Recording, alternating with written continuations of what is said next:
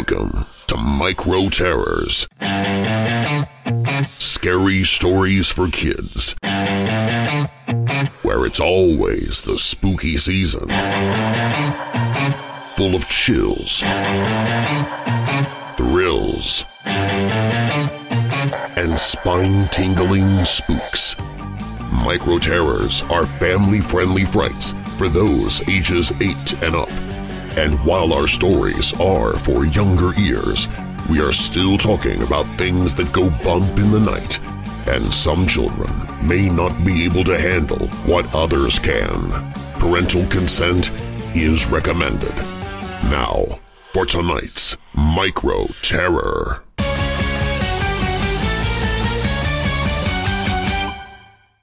The Curse of the Leshyken Written by Sarah Faith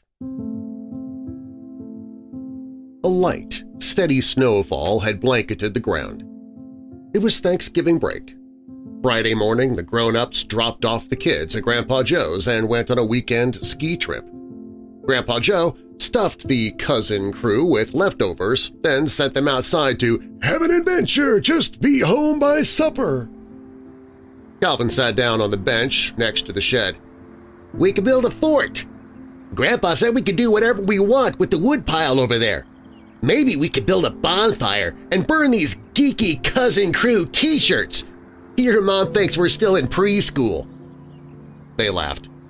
Hey, Adele, you want to help us build an epic fort and bonfire? She said, You two may be content to have an imaginary adventure, but I'm not. She folded up a piece of paper and zipped it into the front pocket of her backpack. See you clowns later. I'm going for a hike. What was that? Hank demanded.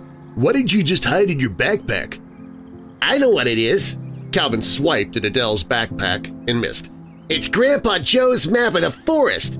You aren't supposed to have that. It belonged to our uncle who ran away when our parents were kids. Hank frowned. Wait a second. Our mom never told us she had another brother. You must be thinking of someone on your mom's side of the family. Whatever. Let's see that map, Adele. Not a chance, Adele gloated. It was sitting on top of my backpack because he wanted me to find it. Calvin dug the toe of his boot into the half-inch of snow that covered the leaves and argued with his sassy younger cousin. That's a lie. He keeps that map locked in his office. So let's see it, Hank said. It's probably a kid's menu from a seafood restaurant. Adele took out the map and held it up for them. They saw generic drawings of kids' food and an ocean-themed word search. Hank slapped Calvin on the back and roared like a pirate. Ahoy! Your treasure map came from Captain Silvers! Calvin said, Let's see the other side. Adele flipped the menu over. On the other side was a grid with words, symbols, and an impressive hand-drawn compass rose. Here's your map. Hank's glasses fogged up. He took them off and pressed his nose to the map. This is impressive. We learned to make these kinds of maps on, on that Boy Scout trip, remember? Yeah, Calvin said. Looks like he's crossed off the boxes where he's searched. So what's left? Here. Hank pointed to the only open space on the map. High in the northeast corner was a clearing with a tree symbol with an orange ring around it. Only place it could be. Only place what could be? Adele asked. Calvin explained. The great tree. You know the legend about the tree and the amulet. Hank interrupted. And the woods are haunted by the spirit of a powerful medicine woman. The legend says there's a giant bird that guards the woods. It stole something from the medicine woman. She cursed the bird, confining it to the forest for eternity. Calvin said, The only way to break the curse is to return what he stole. Hank sighed. it's just a story. Why would a treasure be buried in the woods behind Grandpa's house? I don't know, Adele said as she ran towards the woods, but I'm going to find out. She'd not gone far into the birches when the call of a large bird echoed between the hills and shook the trees. Calvin gripped Hank's arm. Tell her to stop! It's not safe! Look up! A bird with silvery blue wings circled the treetops at the edge of the forest. Dude, let go! We've been playing in these woods our whole lives. Let's follow her and keep an eye on her. Nothing else to do. Calvin let go of Hank and hurried after Adele, shouting for her to stop. He wanted to run, but the snow had made everything slippery. He's right! Hank yelled. Come back! Adele was three years younger and the toughest. She pointed at the bird that flew in a tight circle above them. It's just a vulture flying kinda low. Hank's mouth dropped open. That is the biggest bird I've ever seen! That's not a vulture, Calvin said in a low voice. It's big enough to carry a cat and a goose in each claw. Adele whispered. Then what is it? Hank whispered. It's the Leshyken. Calvin elbowed Hank. Never say its name, it can hear you. Sorry, Hank teased. I'll play along. This isn't a joke, you guys. I'm going inside. Calvin ran towards the back door. Adele smirked. You clowns think I'm going to fall for some campfire story. You're pranking me. You think my map is silly? I think being scared of a legend is silly. Adele waved her arms at the enormous bird that circled above. Hey, Leshyken, are you lost? The great tree is that way. There was a deafening pop and a flash of light. Everyone jumped and covered their ears. The bird swooped down past the treetops and soared toward them across the clearing. Its great silvery wings chopped the air like helicopter blades. Hank grabbed the handful of his sister's puppy purple coat and steered her back towards the house. I can't believe we're running from a bird! The trio clambered through the door. Calvin quickly locked it behind them. Grandpa Joe stumbled into the room, fresh from a nap. What's all the commotion, kids? They all spoke at once. Whoa, whoa, whoa, whoa, one at a time! Uh, Hank, you go first. A giant bird is chasing us! The bird screeched again, sending tremors through the house. A framed photo of their parents slid off its nail and fell to the floor. Grandpa Joe put on his glasses and looked out the window in time to see the bird land in the yard. It can't be! It paced in the fresh snow and extended its massive wings. This is uh, unexpected. Unexpected? Adele repeated. Are you friends with this bird? Uh, you could say that. He put on his coat and boots. You go in the kitchen and warm up. He pointed to the floors. Take off your boots first. Calvin said, You're acting like this is normal, Grandpa. Hank joined in. We can't let you go out there. That bird could be dangerous. Instead of losing his patience with his grandkids, he smiled at them. This bird isn't dangerous. He's my son. They stared out the window as their grandpa crossed the snowy yard and bowed his head to the bird. Adele whispered, Look at its eyes! They're huge! The bird bowed its head at their grandpa and then enveloped him in its wings. They all gasped. Calvin said, I'm going out there. He hurried through the back door with Hank and Adele close behind him. Let go of him! Adele cried, We aren't going to let the Leshyken take you, Grandpa! The bird opened its wings and released their grandpa. I told you to stay inside! I'm not in any danger! The bird opened its enormous black beak and screeched. They covered their ears and fell down on the snow. The bird turned and bounded for the woods. Grandpa Joe called after it. You don't have to leave! They don't understand! They're just kids! There was another loud pop. A second later, the massive blue and silver bird was soaring above them. Grandpa Joe ordered them to go inside. I have a story to tell you.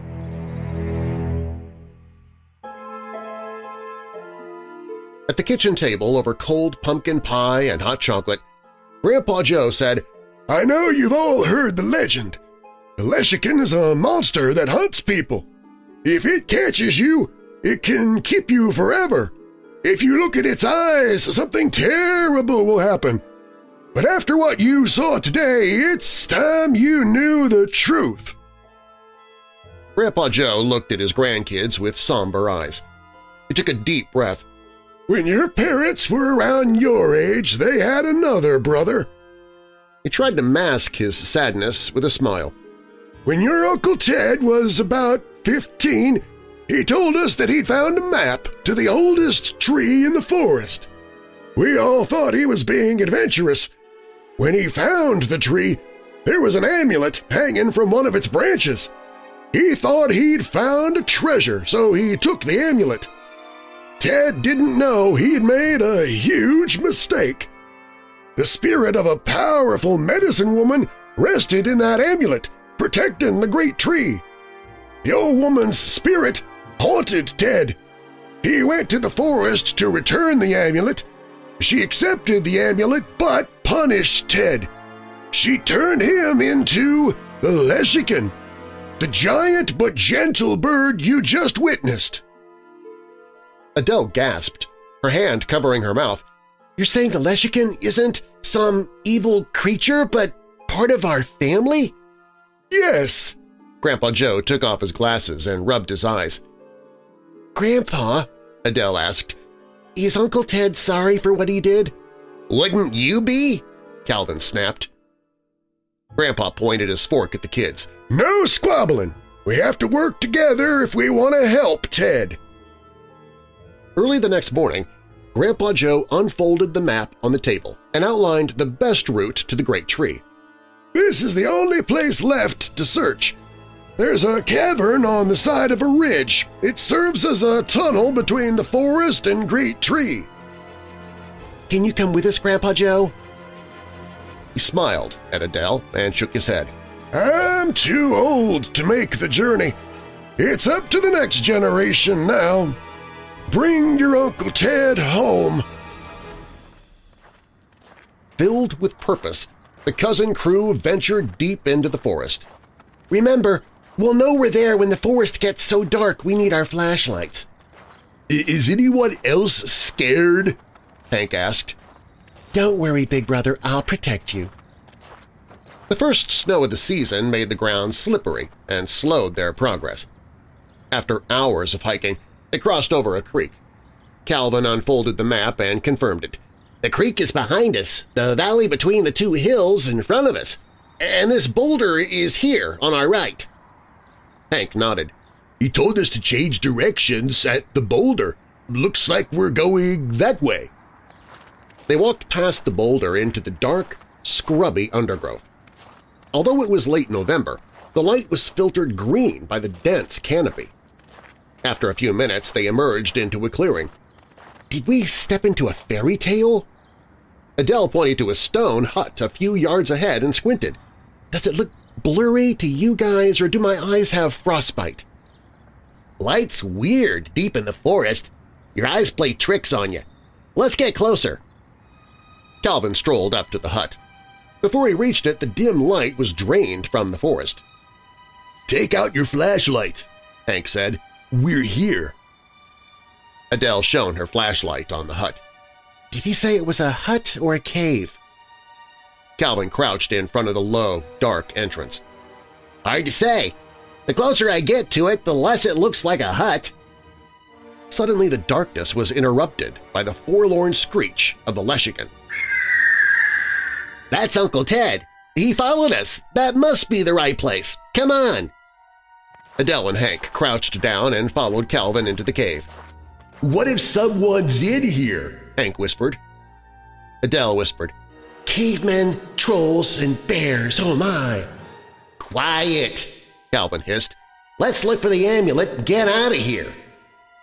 They crawled on their hands and knees for several feet, then reached a chamber with enough space to stand. The beams of their flashlights bounced off the walls of the cave. Hank said, Whoa! when his flashlight reflected off a row of crudely shaped crystals strung on vines. Someone had lined the natural shelf formations with more shimmering crystals and dried flowers. Calvin ordered Hank to search that area.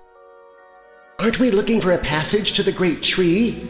Adele shone her flashlight on the wall. We don't know if the amulet is even in here. Hank hung back. I hope somebody brought a barf bag because it smells like a squirrel died in here. Suddenly Adele squealed. What is that? Calvin shrugged. It looks like a pile of bones and fur.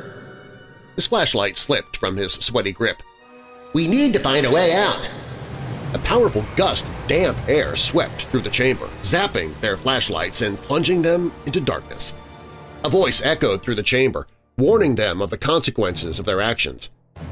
Calvin put a finger to his lips. Shh! The medicine woman knows we're here! Invisible arms squeezed the cousins and lifted them off the ground. A thunderous, disembodied voice said, Another member of your bloodline come to steal from me. You may not believe us, but… Hank pleaded with the invisible force. But we're here to help our uncle. We want to ask you to lift the curse. Adele's voice was thick with fear. He's really sorry. He didn't know what he was doing. He was just a, a kid having an adventure. Calvin said, We're sorry our uncle disturbed your resting place. We want to make things right. She loosened her invisible grip, and the children fell to the ground. I acknowledge your sincere wish to help your uncle. Becoming the Leshyken was not a curse. It was his wish. There was a loud pop and a flash of blue light. In an instant, they were in a clearing that was home to a tall and majestic tree. Calvin, Hank, and Adele faced a misty shape of an elderly woman who spoke to the tree in unfamiliar words. Seconds later, they heard the call of the Leshyken as it swooped out of the sky and landed near the ancient tree. No one spoke as the bird bowed deeply to the apparition. The misty form moved toward the giant bird and placed the amulet around its neck. Bright blue and silver light burst forth from the amulet. Seconds later, the bird and the medicine woman were gone. In their place was a teenage boy in a red coat and blue jeans. His niece walked over to him. Hi, Uncle Ted. I'm Adele. Our mom is your little sister. She gestured to Hank. We're sorry we were afraid of you. We know better now. Hank, emboldened by his sister's bravery, approached the bird. Hi, Uncle Ted. Now I know when Mom says I'm acting like her brother, she means you. They smiled at each other. Calvin approached. I'm Calvin. My dad is your older brother. We're sorry that we couldn't help sooner. We didn't know. Ted smiled at his niece and nephews. You three remind me of a family photo. I can't thank you enough for coming all this way to set me free. My dad sees it as a curse that took his son. He's angry and determined. I miss my family, but I chose this life. He walked over to the ancient tree and rested the palm of his hand on its trunk. Can you do me a favor? Tell my dad, your grandpa, that I'm happy guarding the forest and this sacred tree. I can do more as the Leshyken than I ever could as a person. Ted removed the amulet and hung it from the lowest branch of the tree. There was the familiar pop, and he instantly was restored to his avian form. They waved goodbye as their uncle flew away. Adele grinned. I can't wait to hike up here again and hang out with Uncle Ted. With the help of the map, they determined which way was south and made it home. Grandpa Joe listened to the cousins recount their adventure. He sighed. Eh, your Uncle Ted always had a curious and adventurous spirit. It's fitting that he found solace as the Leshyken, as a guardian of the forest and the sacred tree. Grandpa stood up from his chair and walked to the window. I don't miss him as much now that I know he's happy. I won't stand in his way. Grandpa Joe turned and smiled at his grandchildren. You three showed a lot of courage. You braved the odds to help your family. You trusted the map, worked together, and stayed safe. I'm proud of you. Adele ran to him and hugged him. What do we do now? He looked at them with a glimmer of hope. Uh, let's keep this story in the family for now. Telling others could put your uncle and the forest at risk. One day, your children will venture into those woods, and you'll know that they're safe because the Leshyken is watching over them.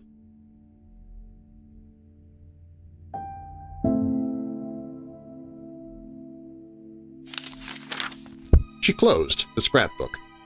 And so the story of the Leshyken became a cherished family tale, passed down through the generations, a reminder of the power of forgiveness, acceptance, and the enduring bond of family. A little girl with blonde hair and glasses sat across with her cradling a cup of hot chocolate in her hands. Aunt Adele, is that a true story? She leaned across the kitchen table and smiled at her niece. Come on a hike with me tomorrow and find out.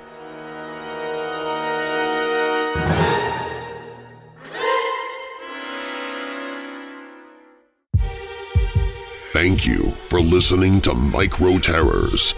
Join us each Saturday for another scary story.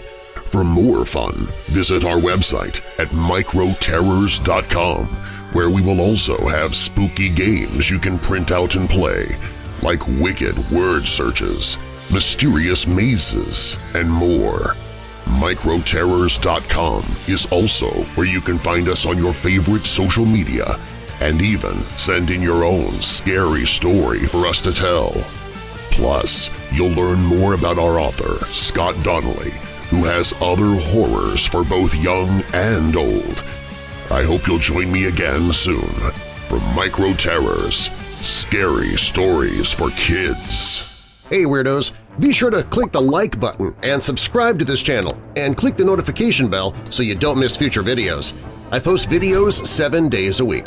And while you're at it, spread the darkness by sharing this video with someone you know who loves all things strange and macabre. If you want to listen to the podcast, you can find it at WeirdDarkness.com listen.